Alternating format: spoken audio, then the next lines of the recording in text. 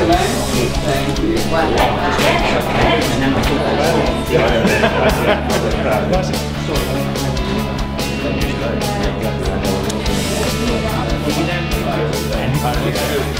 What do you want? What were you doing?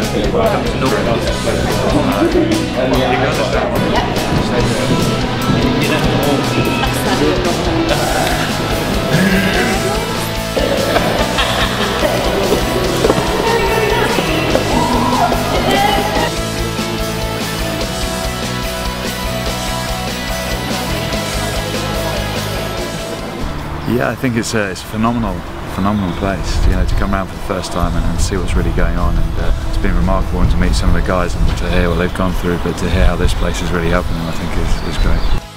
designed to accommodate that user. You can change over. Again, one getting across the Phoenix Centre, you've got similar to what you guys have got, but it's a multi-axle. There's not much steps. So, but yourself can decide to go strong. His, his gears need it. When you go up a hill, uh, hills can smash the brakes on it.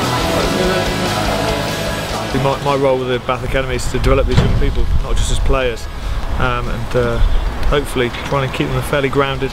Um, but I think you know the, the, the lads we meet here and all the staff, you know, they're very inspiring people. Uh, and you see the, the kind of tough times some of the people had, but how they battle back, how they get back into it, and uh, I think it's, it's very impressive to see uh, how these, these guys get through some fairly adverse situations. It's a new gym because we're going to have this, but we're also holding the guys performing.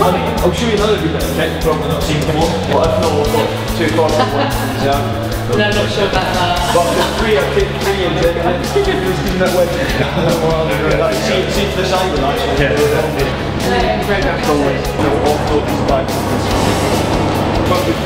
Brilliant, as something quite naughty, no one knows.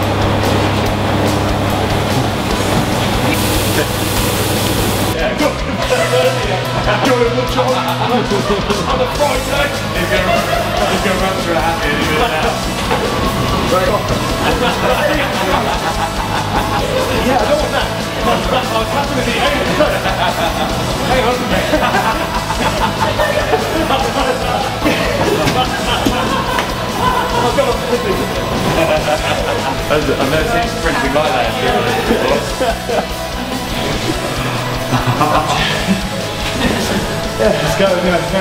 simply it's money well spent. I think it's I think it's fantastic from the from the, the sort of you know that you look at the people um, all around the UK that have made some fantastic donations, um, and it's, it's, a, it's a great investment in the in the future of our, our armed forces. Looking after these guys, after the, the commitment they've given given everyone here.